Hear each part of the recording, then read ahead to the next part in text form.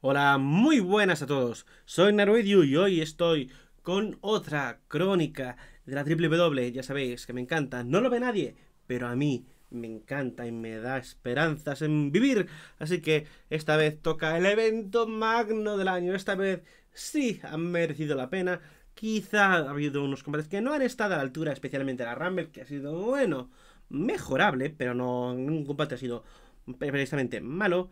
Así que Vamos a decir, primer paso, felicitar al niño por vencer a Zack Saber Jr., que esto te deja al nivel de los mejores, a nivel casi de enfrentarse a Okada, a nivel de tiers de wrestling, pero eso es booking y eso ya no cuenta tanto, porque estamos hablando de New Japan, que eso es otra historia. Aquí tenemos un genial show con todo tipo de gustos, con todo tipo de acciones, y eso sí, la Rumble, pues bueno, yo esperaba más, esperaba algún momento más alocado, pero ha estado bien y ha sido muy buena la historia, así que empezamos.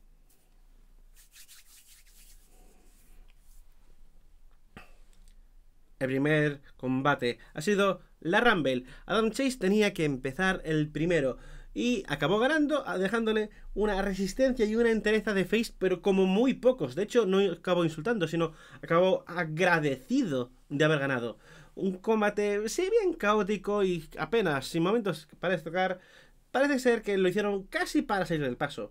Sin embargo, está bien llevado y han dado una genial historia a Adam Chase para poder redimirse y hacerse face poco a poco que la gente lo está pidiendo porque no es normal que estemos apoyando a alguien que nos está insultando todo el rato.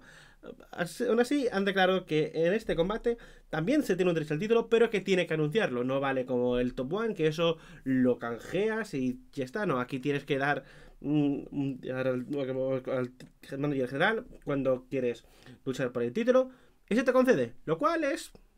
Está bien, está bien. Oye, te permite dar la variedad de que mm, el, eh, Adam Chase va a poder luchar por el título principal y haces que la, eh, avance desde el sacar un combate hecho de prisa corriendo que ha sido puro fanservice a permitir que puedas seguir optando por el título o de forma que no jodas el todo el top one. Así que está bastante bien. A mí me gusta muy bien llevado a nivel de historia no está el combate pues bueno está bien todos han hecho lo suyo un poquito, venga, acabamos esto rápido, pero muy divertido. Siguiente combate, combate por el título de parejas Radical Bikers contra B&B, combate competente, sin ningún tipo de movimiento destacado, pero hubo al final un muy buen booking y una psicología y puesta en escena que destacó mucho en la parte final, especialmente cuando Byron eh, hizo alguna especie de placaje a Banshee para que no lo recibiera de los Radical Bikers. Sin embargo, los Radical Bikers hacen shenanigans porque son heels y son muy malos. Y pues acaban ganando. Lo cual hace que esté bien. Bien ha sido un campeón un poco transicional porque no han defendido los títulos. O si los han defendido. Creo que no han defendido los títulos. Creo. No, creo que no han defendido los títulos. Más aparte de esto, pero bueno, han hecho un bastante buen combate. A mí me ha gustado. Sin embargo, lo dicho, nada espectacular. Simplemente ha salido Aquí ya después del combate es cuando el show empieza a conseguir muchísima fuerza. Rookie contra Elías contra Jason Jupiter.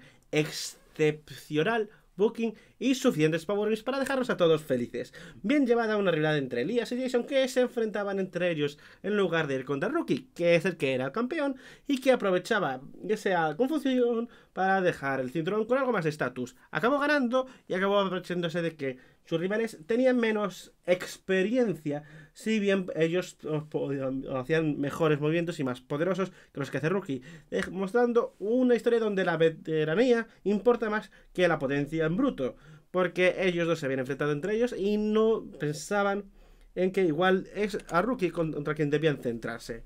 Pero era una apuesta que tenían que hacer y a mí me gustó muchísimo el guion del combate. Es, a mí esas cosas me gustan, me gustan.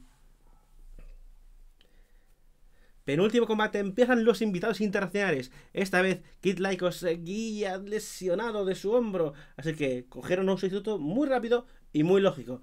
Zayas, que ya lo dijeron a Feria de Show, se había venido desde Coruña, cogiendo el autobús a las tantas de la noche solamente para no decepcionar y dar un muy buen combate. ¡Y qué buen combate! Booking psicología excepcional es lo que te da traer unos talentos británicos que saben de la hostia y que están con los mejores. Con una variedad de momentos bastante competente, aunque quizá faltaron algunos combos de tacting, que es lo que hubiese dado aquí mucho... Mmm, ese ese quad que me gustan los combos de tacting, pero que no sean los ataques en estéreo. Que eso, pues bueno los tengo un poco vistos, pero me gustan más las combinaciones más que hacer un mismo movimiento dos veces. Cuestión de gustos. Para acabar, acabamos con el combate de la noche. No el combate del año, porque me gustó más el que tuvieron a nivel de guion tanto Kid contra Adam Chase. Y que espero que se repita. Pero ¿Por qué soy un puto fanboy? ¿Por qué me tomáis esto en serio? Cinco estrellas y medio pangolín, combate perfecto de chain wrestling y striking, poca flip sheet, que es lo que siempre el niño desea hacer. Muchísimo chain wrestling, que sé que es lo que le encanta. Limpia más no poder y un booking final que me encanta, con ese Zack Saber Jr. que entra como un chulo, pero que aquí gana por pura resistencia de face, con una maravillosa Spanish Fly desde la tercera cuerda, que eso solo hace en la final al del cruiser, eh, eh del del Cruiserweight de WrestleMania y aquí lo hacemos pues como si fuese pulsar el cuadrado en el Street Fighter. Y además una super kick de las que hacen historia. Está todo en mi blog, está muy bonito y es un combate maravilloso que realmente, incluso a los que no les gusta el chain wrestling, a los que no les gusta el grappling, hacen que merezca la pena verlo. Es muy bonito, incluso a mi hermano, que no le gusta nada, Zack Saber Jr., me dijo claramente que ese combate le había despertado y le había encantado. Vi el combate eh, contra Okada en directo, que bueno, no estaba mal, pero cada no daba mucho de sí en cuanto al chain wrestling y el grappling. Sin embargo, el niño adora ese estilo y se nota que puede transmitir muchísimo cuando, cuando te están haciendo una que parece que te están dislocando la vida. Así que maravilloso todo lo que han hecho, excepcional combate, triple W, seguida así. Mm, así que en general, una noche muy redonda que amáis de la pena. Yo llegué a las 9, me desperté a las 3, así que en esas 24 horas he, estado despierto 21. Así que solo dormí 3 y estaba deseando morirme. Acabé un poco cuerdo, sigo un poco con un déficit de sueño que es preocupante, no lo voy a negar, las cosas como son, pero que aún así ha merecido la pena. WWE ha confirmado que van a intentar hacer que el siguiente Total Rumble sea en un sitio más grande. No sé cómo lo van a llevar. Si empiezan a pagar, a tener que pagar, se van a caer muchísimos. Y todo el mundo lo sabe. Eso hacen un salto de fe titánico o consiguen una especie de ayuda del ayuntamiento o no sé de dónde y consiguen sacar un sitio más grande y también que sea gratis. O al menos con entrada preferencial. En plan, que si tú pagas, pues tienes primera fila y si pagas un poco más, tienes algo con los luchadores que, sinceramente, con los colegueos que ya se montan después del show, no, no, sé quién lo pagaría, pero hay mucha gente que está deseando colaborar. Y os lo repito, que yo tengo un móvil competentillo. Miradme el blog que ha sido bastante guachi. Tengo tiempo para editar, que os puedo hacer programas como queráis. Creo que os lo comenté a Nathan Young, quizá. Bueno, Nicky, que sé que lo, lo, lo escuchas. Por favor, que yo me ofrezco a grabar con vosotros. Que no me importa, que hago keifi, que hago toda la mierda que queráis. Que yo lo hago. Y lo hago totalmente gratis porque os quiero. Así que, genial show de la WWE. Dicen que en tres semanas, más o menos, que eso sería el día 5 de mayo, mm, para los mexicanos, imagino. Pues el 5 de mayo habría algún tipo de show extra de la WWE más, así que no sé, habrá que estar al tanto de lo que digan. Y como siempre, WWE, muchísimas gracias. Seguid así, que os merecéis todo lo bueno que os ocurra.